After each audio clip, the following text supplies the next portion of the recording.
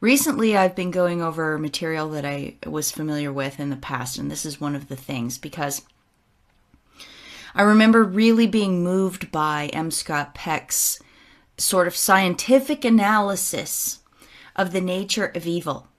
That's what this book is. He's a psychologist, a psychiatrist, and he was trying at the time when he wrote this book to get evil classified as a form of mental illness.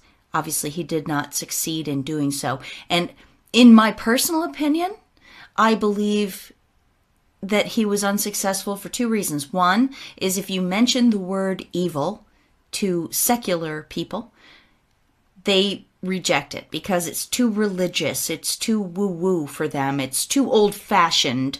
You know, it's it's anti-progressive, it's anti-technical.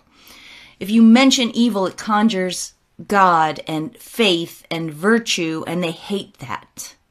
The second reason I think Scott Peck was unsuccessful in his bid to have evil classified as a mental illness is that I know this is a little controversial, but I think that the current paradigm that we're living in today was brought about by people who themselves are either sociopathic, psychopathic, or evil, and they didn't want even define this sort of mental illness.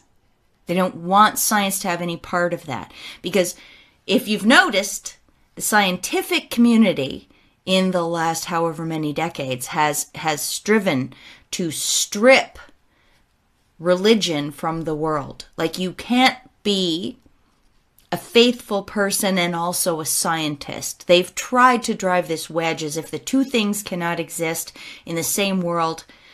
I fundamentally disagree with that. I think science is glorious, and I do not think that any part of it contradicts faith in God. Myself. I don't see any any clash, but they do. And so we ha- we're playing in their playing field right now.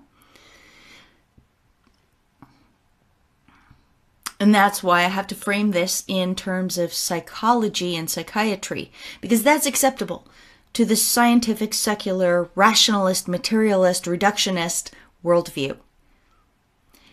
And the scientific, rationalist, reductionist, materialist worldview people are who I am trying to reach.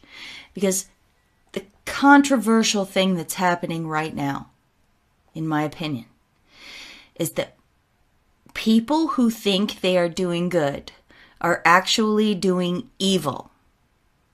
They are doing this thing, this virtue signaling thing, where it's a performative act to be good rather than actually being good. And in my personal opinion, science is responsible. Technocracy is responsible for this.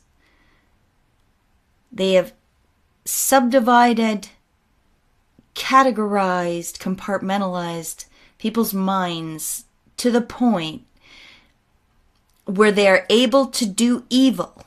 Pardon me in the name of good.